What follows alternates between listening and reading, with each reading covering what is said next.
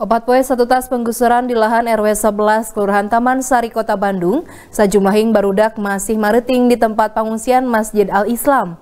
Minangka tarekah pikeun memenah kondisi psikis barudak satu tas penggusuran, trauma healing di sorang ngaliwatan kegiatan maca dongeng.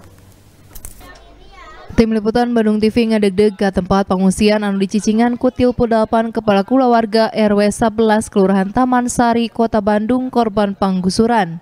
Meh 10 barudak kaasup karena korban penggusuran.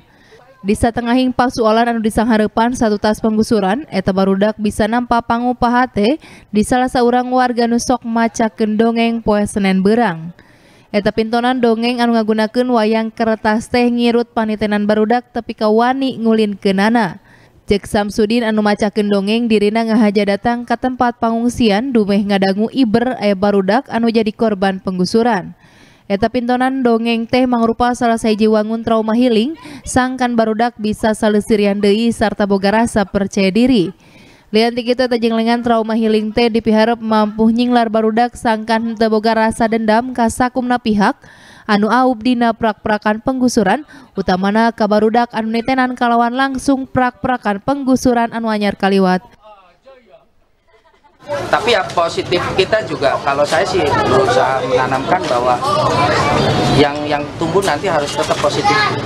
Meskipun ada orang memperlakukan kita tidak baik anak-anak ya diharapkan jangan sampai menyimpan rasa dendam.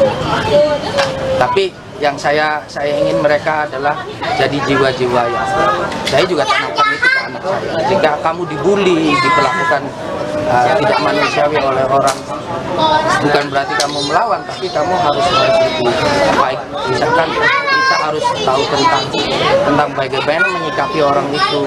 Dinana senasna eta trauma healing anu mangrupa pintonan dongeng kaulinan sarta padung dengan jeung barudak kalawan langsung teh.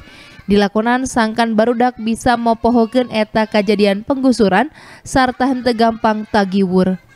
Budi Hartati Bandung TV